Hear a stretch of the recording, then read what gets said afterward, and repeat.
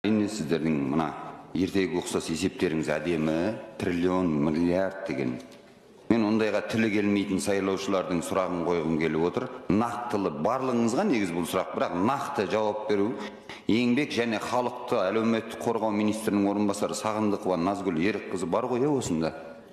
А? Өте қуаныштымын қолыңызда қаламсап пен парақ болса алсаңыз жақсы болатын еді. Мен сізге цифрлар келтірейін. Өйткені сіздер цифрды жақсы көресіздер. Бұл қарапайым арифметика. Орташа статистикалық отбасының бір айлық шығындары. Сіздердің министрлік ең төменгі айлық 85 мың теңге сосын қызармай бір министрдің орынбасары ол жетеді күн көруге деді. Енді мен сіздерге арифметика көрсетейін.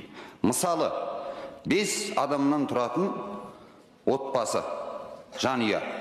Әкесі театр қызметкері инженер алатын айлығы 115 мың теңге. Шешесі кітапханашы сіздердің жетеді деп отырған 85 мың теңгелеріңізді алады. Бірінші балалары студент. Құдайға шүкір грантта оқиды бұл біздің мемлекеттің игілігі беріп отырған екінші баласы мектепте алтыншы сынып оқушысы үшінші баласы балабақшада мемлекеттік балабақшада. Жалпы отбасының табысы айына 200 мың теңге. Енді бір ай көлемінде қажет болатын шығынға азық түлік коммуналдық төлемдер кредит балабақша және тағы басқаларын нақты келтіріп берейін. Азық түлікке нан 180 теңгеден бір айға жоқ дегенде бес адам алпыс бөлке нан жеді делік. Күніне екі ақ бөлкеден жегенде. Он мың сегіз жүз теңге. Сүт сегіз жүз он теңгеден он литр дейік ең кемінде сегіз мың бір жүз теңге. Шай бес жүз теңгеден бір қорабы бес қорабы алды дейік. Бұлыңыз екі жарым келі мың сегіз жүз теңге. Макарон үш жүз жиырма бес теңгеден он екі келіңіз үш мың тоғыз жүз теңге. Жұмыртқа алпыс теңгеден жиырма жұмыртқа мың екі жүз теңге. Гречка бір келісі 280 теңгеден бір айда үш келі гречка жегенде 840 теңге. Ұн 3700 теңге 10 келісі. Май. Бір литрінің бағасы 4000 теңге болғанда бұл күнбағыс майы сары май жоқ бұның ішінде. Сегіз мың теңгеге екі литр май тамақ істеді дейік. Картоп 130 теңгеден 10 келі 1300 теңге пияз 120 теңгеден 5 келі 600 теңге тұз 60 теңге тауық еті 1150 теңгеден бір келісі 5 келі ғана жеді дегенде 5750 теңге. Күріш 565 теңгеден 5 келі 2825 теңге. Коммуналдық төлемдері екі бөлмелі үйдің қазіргі таңда жоқ дегенде 27 мың барып тұр. Ұялы байланыс интернет тарифі бұл қажетті нәрсе өйткені бізде жұмыста да оқуда да соны талап етеді жеті мың теңгеден төрт адамға жиырма сегіз мың теңге жол жүру шығындары оңай пластикалық карталарын алу жеті мың екі жүз теңгеден үш адамға жиырма бір мың алты жүз теңге тазалық құралдары сабын үш жүз теңгеден бес сабын алды дегеннің өзінде мың бес жүз теңге тіс жуатын паста төрт жүз жетпіс теңгеден екі ақ паста алды деп есептедік тоғыз жүз қырық теңге кір жуатын ұнтақ төрт келі үш мың төрт жүз теңге. Екі келі пачкадан екі пачка.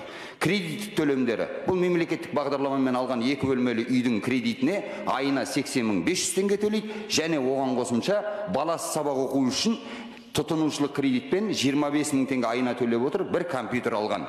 Балабақшаға 16 мың 500 теңге төлеп отыр. Енді келейік. Азық түлік себебі елу бес мың алты жүз он бес мың теңге кредиттік төлемдер сексен мың бес жүз қосу жиырма бес мың жүз бес мың бес жүз жол жүру шығындары жиырма бір мың алты жүз коммуналдық төлемдерге электр жиырма жеті мың ұялы байланыс интернет тарифі жиырма сегіз мың балабақша он алты мың бес жүз. Жалпы шығын сомасы қанша шықты? Екі жүз елу төрт мың екі жүз он бес теңге. елу төрт мың екі жүз он бес теңгені қайдан алады? Бірінші сұрағым енді қараңыз бұларды біз есепке алмаған шығындарымыз дәрі дәрмек дәрумендер киім канцеляриялық құралдар ойыншық демалыс ойын сауық үй жиһазы техника азық түліктен сиыр еті қой еті ә, жылқы еті дегенді мүлдем жемейді жеміс жидек дегенді мүлдем жемейді сары май дегенді мүлдем жемейді балық дегенді мүлдем жемейді кәмпит тағы басқасын мүлдем жемейді. Өзге шаруашылық тауарлардан шампунь су сабынды мүлдем қолданбайды крем және тағы басқасын мүлдем қолданбайды делік. Енді сіздердің министрліктеріңізге үлкен сұрақ мен бұны ашық хат қылып министрлеріңізге де әлеуметтік желіден жариялаймын. Қалай есептедіңіздер? Және осы отбасы қалай күн көреді? Рахмет. Рахмет. Ә, ринат рифхатұлы сіздің айтып отқан ә, мәселе ол ә, мәдениет саласындағы қызметкерлердің жалақысына қатысты. Мәдениет саласы ғана емес кітапханада істейді деп мен анықтап айттым. Екі жоғарғы білімі бар ол кісінің. Э, жалпы енді бұл азаматтық қызметкерлер санатына жатады. Қазіргі таңда енді президенттің тапсырмасы аясында сонымен қатар осы еңбек министрлігінің 1193 қаулысы бар ғой. Соның аясында осы азаматтық қызметкерлердің еңбек ақысын қайта қарау бойынша жұмыс жүргізіліп жатыр.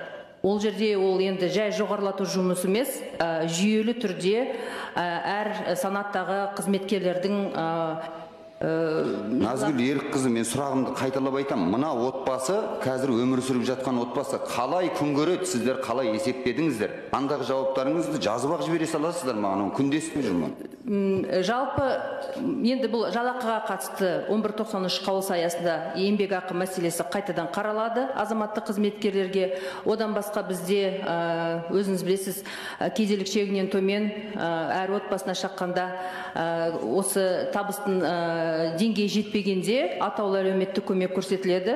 Ә, бұл енді отбасының ә, нақты отбасы болса бұл ә, азаматтардың ә, аты жөнін берсеңіздер біз атаулы бұл бір көмек- отбасы емес назгүл ерікқызы мен қайталап айтамын бұл қазақстандағы тұрып жатқан халықтың жоқ дегенде 30 пайызы.